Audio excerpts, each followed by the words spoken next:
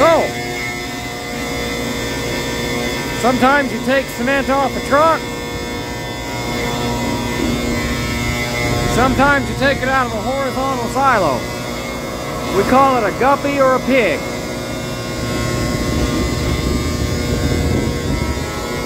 And it's basically, there's a tractor trailer load per pod. And there's six pods in it. It has a blower on it. Just like the trailers. And then you open these valves in the bottom and the air pressure pushes it in the truck.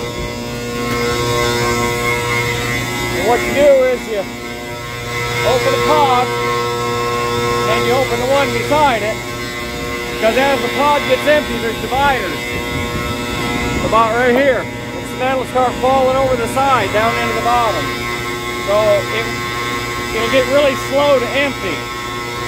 And um, it'll purge a lot of air and stuff. So you open up two of them side by side. So that as this one goes down that one goes down. This one's pretty much empty. You can hear it echo.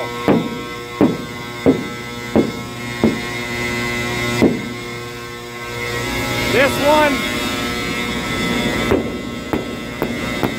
that's the line right there. That one's still full. It takes, takes about 20, 30 minutes to fill the truck up. So you got line pressure and you got tank pressure. Tank line. It doesn't take a whole lot to push cement into a truck. Because you're not blowing it up into a silo 100 foot in the air, you're just blowing it into the truck. So five to seven pounds will do it. And then as that tank air starts getting empty, which it is, the pressure, the pressure will start falling. So then you close that valve and you open the next one over there.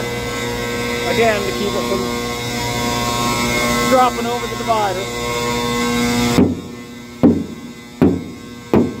Pretty much empty.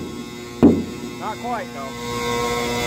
When it gets empty, it'll start pat, well, let's see, it's close.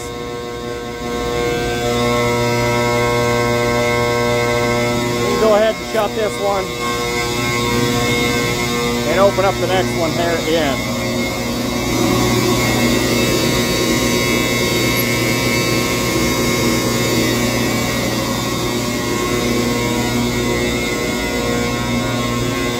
Now that I've shut that one that was going empty, already the pressure's going up. So I was passing some air. It was trying to get the rest of it out of the bottom, but it was passing a lot of air. And that, well, I see now there's hardly any dust.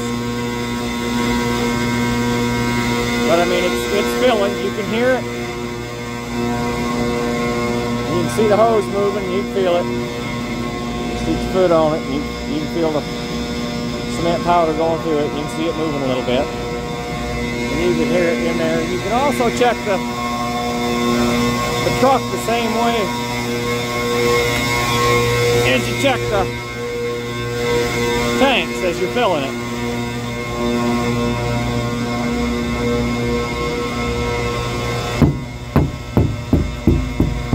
There ain't much down here yet. I just got started. But anyway, so what you do here is if, if you know you got some work to do and your trucks are busy or, or your truck breaks down or something happens, your trucks that are delivering, you just go ahead and put them in the pig so you've got some storage. I, I, I like hot loads better. I like them straight off the truck, but I mean, this works too.